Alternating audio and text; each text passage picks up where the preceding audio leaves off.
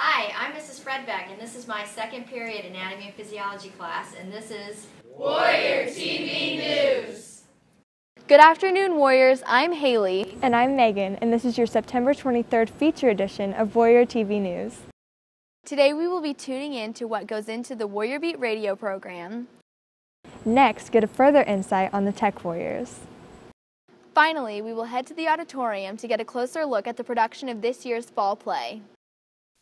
All this and more on today's feature edition of Warrior TV News. Mics. Cameras. Computers. Action. I believe warriors can film the world.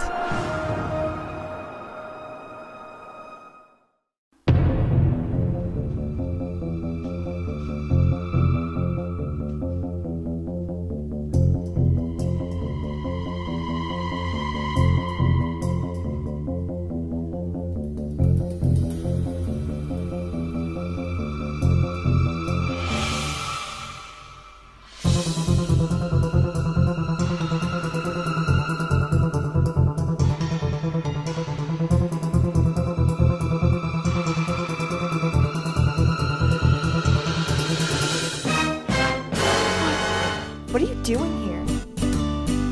I'm here for the fall play. I had to get my front row seat. I mean, it looks like we've got a couple more hours till the play starts. It doesn't start till 7. Do you want to join me? I mean, why not? Sure.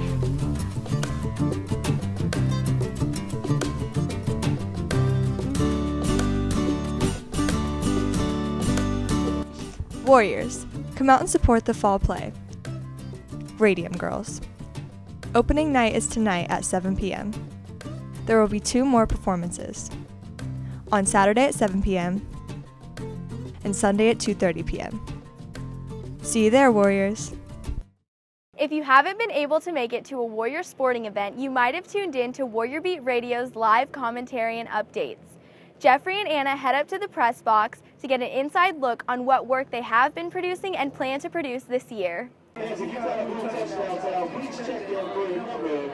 Warrior Beat Radio has been the voice covering Whiteland Warrior athletics for several years now. Warrior TV goes to Mr. Wood and the student broadcasters to gain insight on the WCHS radio program. got away from everything for a year and then decided I missed being involved in athletics in some capacity. I think it's a great way of help giving publicity to what our students doing. I think it's a great way of letting people who can't come to the game be able to hear things that go on. It's great. I mean, each year I have a. I don't want to say I have an each each year. It's not totally different kids, but you have that nucleus plus new kids, and what they do is unique each year compared to the previous group. And the neat thing is seeing some of those students take the leadership and develop what needs to be done for us to be successful each year.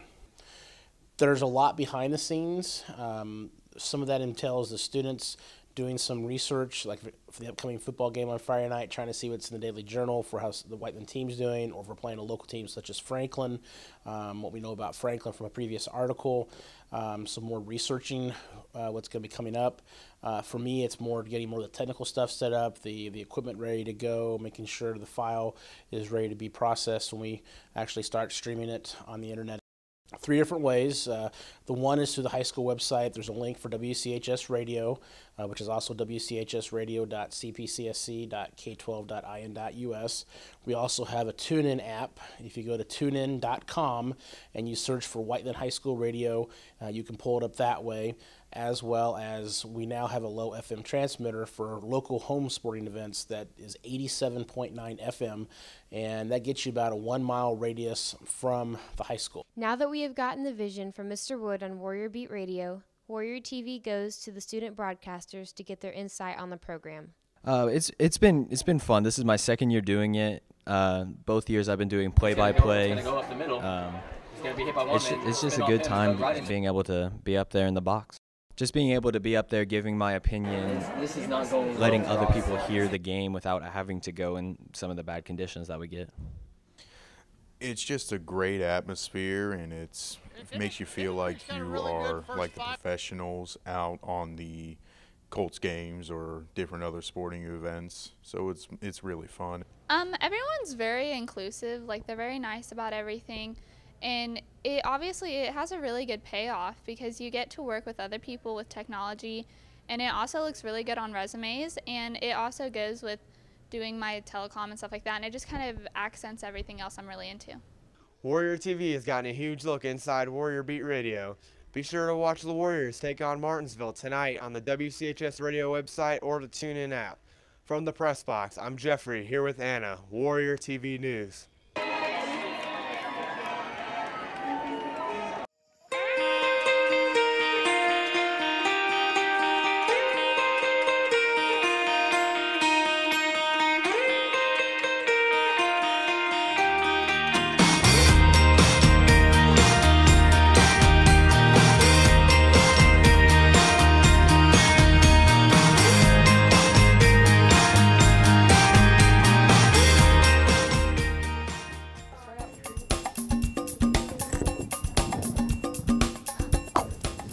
Didn't even see you there. What's up? Hey! If you're interested in coming to this beautiful destination, Join the travel club in their 2018 trip to Costa Rica. see Mrs. Breidinger and Mrs. Leach for more information.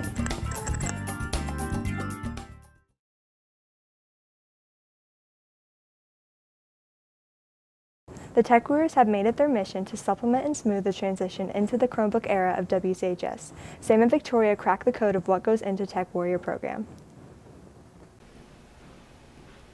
With the addition of Chromebooks this year, WCHS has needed a new IT team known as Tech Warriors. Warrior TV is going behind the scenes to see how this new team of students is helping the school and what went on to create the class.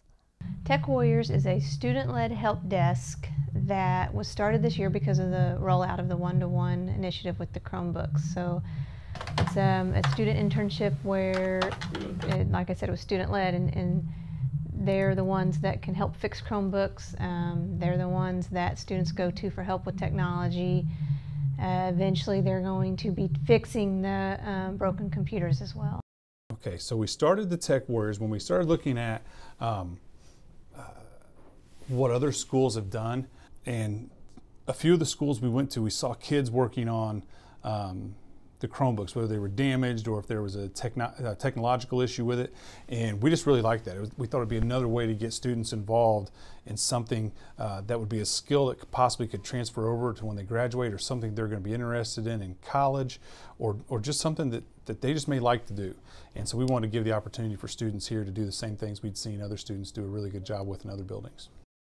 I think eventually this is going to evolve into that these kids are going to, you know, fix the Chromebooks, have a little more say in, in what apps and extensions we use. They're going to be the, the go-to uh, unit of people that students have if they have, you know, apps or extensions that they want to use. They're going to be the ones that just to decide, and eventually they're going to have some um, say in in what we do with the Chromebooks.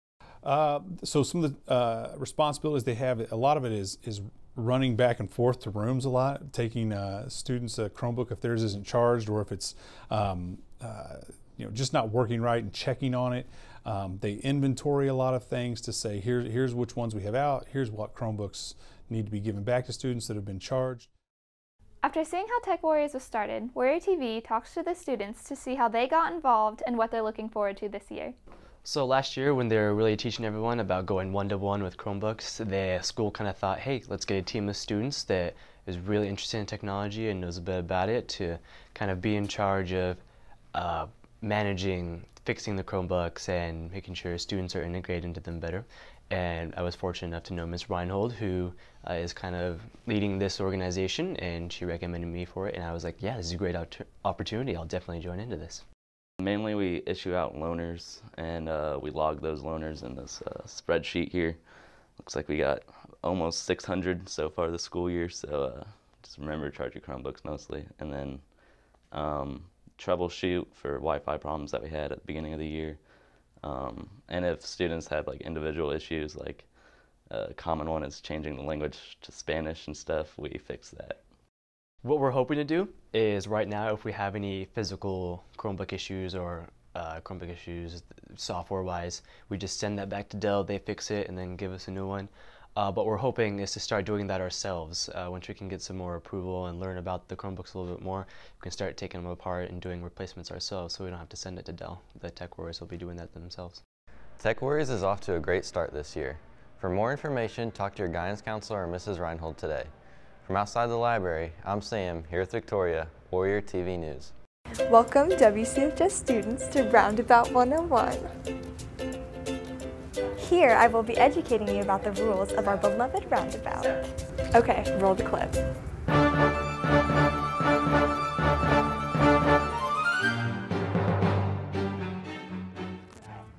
Now warriors, always slow down when approaching the roundabout and yield. I repeat, yield to traffic already on the roundabout. Now let's see how the rest of the scene plays out.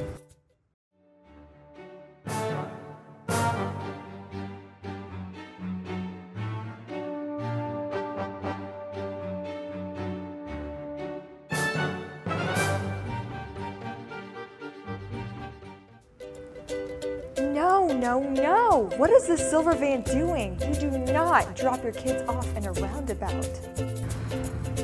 Back to the clip.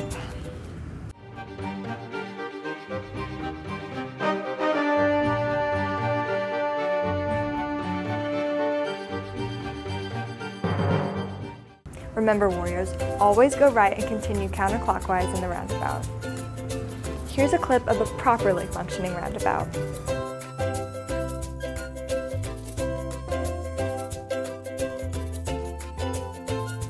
And that's all we have for you on Roundabout 101.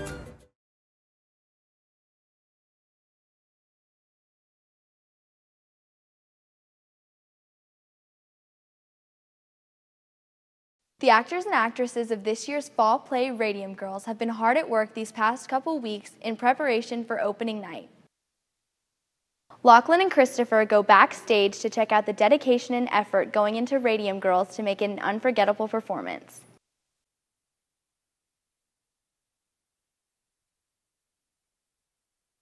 Each year, the WCHS Theatrical Warriors start off the year with an annual fall play.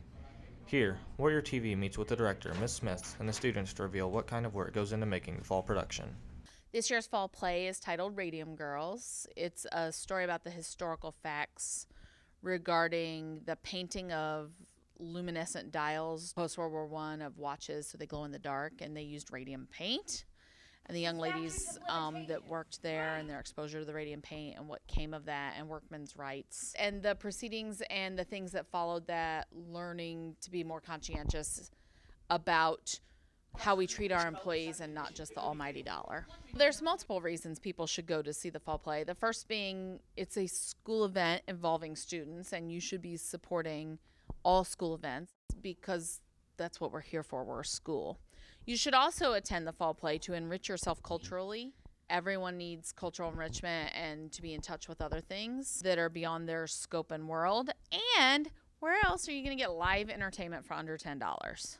The thing I most enjoy about high school theater work is interacting with students and watching people grow and change and learn. And that's the whole point of being here. I expect them to be excellent, which is what I expect of every cast. I expect hard work and dedication and growth and excellence. After speaking with Miss Smith, Warrior TV takes a trip backstage to gain some insight from the cast and crew about their expectations for this year's production. My role is Grace Fryer, who is a worker in the radium plant, and I love her. She's definitely my favorite role that I've ever played ever. This is my seventh production in high school. I will be the only possible eight production senior. This production, I'm really excited in regards to trying out this new character of mine. Definitely my character because I've never played somebody historically, so it's definitely really cool being able to interpret somebody that like was actually real.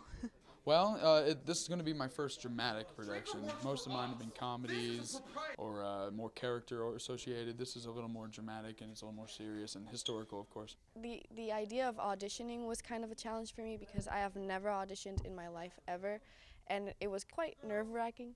But I got over it, and I actually got cast for the play, which was amazing. My big role is Raymond Berry. He's the defense attorney and lawyer for the Radium Girls, and I couldn't be happier with him.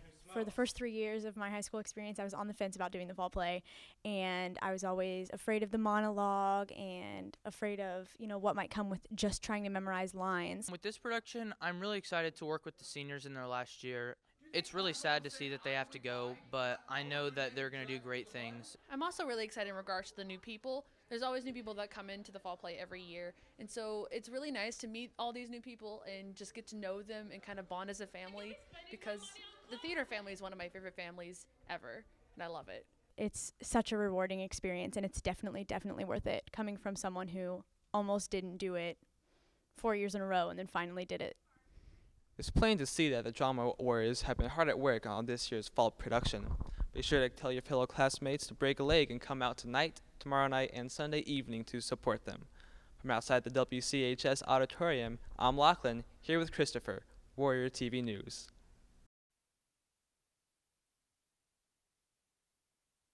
And that's all we have for you on this feature edition of Warrior TV News. Until next time, have a good one.